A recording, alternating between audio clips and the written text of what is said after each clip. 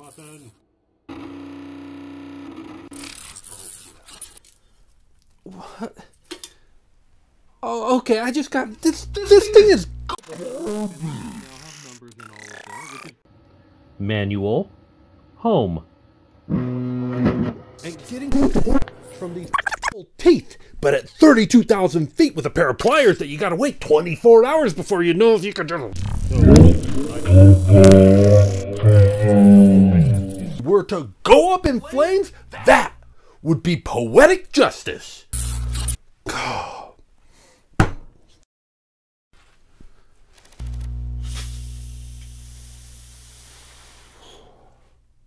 Wow, that really works.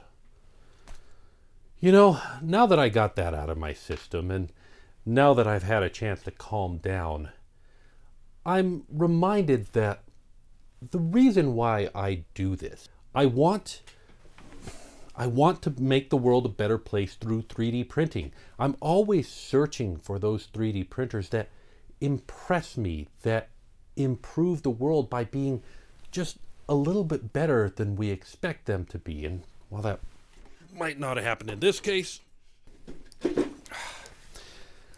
let me share with you some of the things that I have seen that good 3D printer manufacturers do that enable them to get good reviews and have successful 3D printers, and at the same time, kind of talk a little bit about what the bad ones do by, you know, counter example. And you know what? Just for fun, just as a change of pace from that opening, let's do this as a top 10 countdown. So, Simon, count me down. Number 10. Don't sell crap in a box. You know, it used to be that 3D printer manufacturers could just put crap in a box and send it out to people, and people would buy it and eat it up. They would build the crap into a 3D printer. The 3D printer wouldn't work because it is, in fact, crap in a box. But that didn't bother them. They'd find the crap components, swap them out for good ones. I, I've known people who bought a kit, swapped out the garbage motors, swapped out the garbage electronics, and then swapped out the entire case and entire frame of it. There was literally nothing in their 3D printer that they got from the original kit, but that kit got them started. However, you know, the sort of person who's into that sort of project is kind of dwindling a little bit. Uh, sure, there are still people who love the idea of a kit 3D printer, a, a, project that is just about playing with the electronics, but those people are trickling in a lot less than they used to be. And for the most part, the people who have already done that project, they don't want to do it again. They want to have something that increases their ability to make. They want something that's more reliable, that's easier, that's just going to work out of the box. Sure, a few little upgrades is acceptable, but if it doesn't work out of the box, people's patience for crap in a box is quickly dwindling, and the 3D printer manufacturers who succeed have already figured that out. Number 9. Be aware that there is competition out there. The 3D printer manufacturers that fail seem to be completely unaware that there are other people making 3D printers at a reasonably close price that are of higher quality and work better. It's like they don't even know that Creality exists. Creality, I think, is an example of a company that's getting it right. And because of that, they're growing and they're innovating and they're able to do things that other 3D printer manufacturers can't. But these other ones that think that, well, we can just copy their specs, make something approximately the same and, and knock $25 off the price and we'll get their business. But they do so by sacrificing so much quality that the machines are only a 50-50 shot at even working. That's not the way to do business nowadays. Number 8. Documentation is key. You know, I love it when I open up a box and right on the top there is the documentation for the 3D printer. But even if there's just a card that says the documentation is on the SD card, plug that into your computer, the documentation should walk people through the experience of using a 3D printer for the first time. And 3D printers that do that are more successful just across the board. Number 7. Test your designs. Don't just put something together and hope that it'll work and then send it out to the public and think that the public will do your beta testing for you. Mm, not anymore.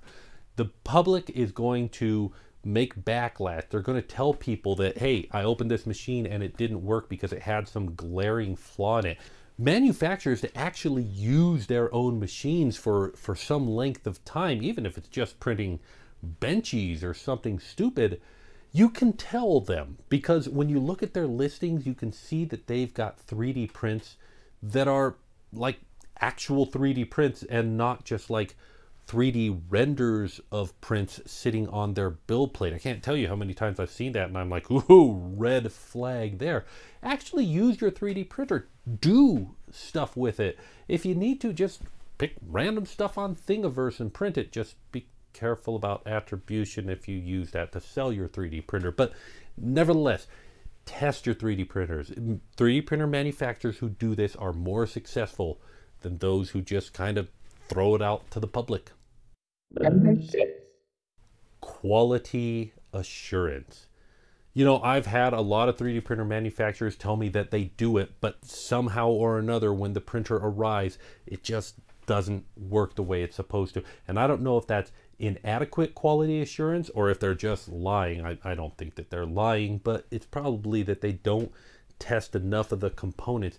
And I recognize testing components is a difficult thing to do. So I don't want to be too hard on them, but you know, make sure that it's good before you send it to the consumers as best you can and and be creative on that one. But if you don't, well, treat support seriously. Now, to be completely fair, getting support from China is something that a consumer needs to manage their expectations about.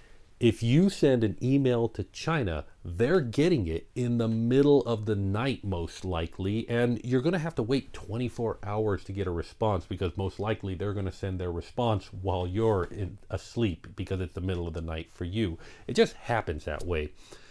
Also, recognize that English is not always these people's strong suits. I mean, they live in another country, and so be thoughtful and considerate about that. That said, there's a lot of things that good 3D printer manufacturers do about support. One thing that I saw recently is that they put a sticker on their 3D printer that said if you remove this sticker and open the case, you voided the warranty. Well, that's saying to the consumer that they want to handle support, but then they didn't have the infrastructure to handle support. That little sticker was writing a check that their company wasn't able to cash. And you know, another thing that 3D printer manufacturers could do is just have like a little email boomerang, you know, a little server that when it gets a support email in, it waits 10 minutes and then sends an email back to the person who sent it that just simply says like, we got your support question. Give us 24 hours to answer it. Give us a little bit more time if it's the weekend because, you know, we're, we're at home or whatever. We are going to look into it. I mean, when you receive those emails as a consumer, you know that that's an automated response, but it, it makes you feel good. It makes you think, ah, they're going to look into it. I'll give them some time. And just that, that little, little bit of faith and trust, and, and that can just be created by a simple automated script. So I don't see any reason not to do that. Now, the rest of this list is about getting good reviews because good reviews will just bolster a 3D printer like crazy. There is nothing better for a 3D printer than other people seeing that 3D printer being used and being used well. And so sending that 3D printer out to a couple of key reviewers who will use it, try it, and tell people about their experience is invaluable. However, well, there are ways to screw up even getting a review. For instance, Number 4. don't put unreasonable requests and requirements on reviewers. I've gotten 3D printers from manufacturers, and after I got it, they're like, now make sure that you get this out in some, you know, short amount of time. And I, it takes time to use a machine, to get to know it. If something bad happens during that time, what what do you want? You, you said you want it in in you know a month or less. Then I'm going to have to tell people that it didn't work because you put that requirement on there. On the other hand, if I've had an opportunity, many 3D printers that I, I love now, I didn't love at the end of two weeks. I loved at the end of a month and two months where I had a chance to use it and keep using it. And I kept coming back to it because they were good machines. On the other hand, I can figure out if it's a bad machine within a short period of time, no problem. And so, yeah, you put a short requirement on here, it's more likely that I will not have as good a thing to say as a reviewer. And I recognize I'm, I'm saying this to the manufacturers, but you know, as consumers, if you see people giving a 3D printer a bad review or maybe not a glowing review, this is why I do March Madness. This is why I re-review the 3D printers because a lot of times after I've had more time with them, I have a more positive feeling about them. I have more positive experience and I can change what I say about them. Number three. Don't attempt to stop a bad review. Now, mind you, if a review is going to be bad, chances are that I will be contacting the manufacturer and saying, hey, listen, I'm having this problem and this is the best that I'm going to be able to tell people. And I have had manufacturers tell me, well, could you please just not tell people, or let's just call this whole thing off and, and not do it. Come on. My job is not to the manufacturer. My job is to you, the viewer. My job is to tell you about these bad experiences that we've had. Now, I will admit that I've had some 3D printers that I got, they just did not work. And while I'm working on the review for them, I see other YouTubers reviewing them and saying basically the same thing that I would be saying. And in those cases, as long as that conversation is already being had, yeah, I might back off and say, you know what? I don't need to add to this conversation. But if it's not being said, my job is to you, the viewer. And so I will tell you if there is a bad machine out there and if you're having or if I'm having a bad experience and if there's a chance that you'll have a bad experience. Besides, bad reviews are good content, you know? So, hey. Number two. And if you've ignored everything else before this and if the review is going bad, please, especially do not offer to pay off the reviewer so that they will either say good things or not post a review. Now, honestly, I haven't had that experience, but I feel like I've gotten close a couple of times. I've had manufacturers tell me, hey, this is not going so well. Could you not do it? And I say, listen, my job is not to you. You are you aren't paying me at all. I don't take money for this. I just take the machine and you didn't even give me the machine. So, you know, making a video is is my compensation for this. And I I've like been afraid that they were going to respond back, well, could we pay you so that you get that compensation? And my response to them would be, uh, no, and I'm going to tell people about this, but I've I've never actually had that experience. Still, that would be the number two thing, but there is one thing that I think that is even more important, one one way that could screw it up even worse, and that is make sure you're sending your 3D printer out to reviewers. I recognize the past couple of steps have all been about this, but this I think is, is number one. The most important thing that a 3D printer can do to be successful is get it in the hands of people who will tell other people about it, right? Right? Like I've contacted manufacturers and I said, hey, listen, my audience wants to know more about your printer. Can I work with you? And I've gotten crickets back from them, not a thing. And I've also had some that like that conversation started, but it never finished and I don't know what was going on with that. I keep I keep knocking on their door going, "Hey, listen, I want to tell people about your printer."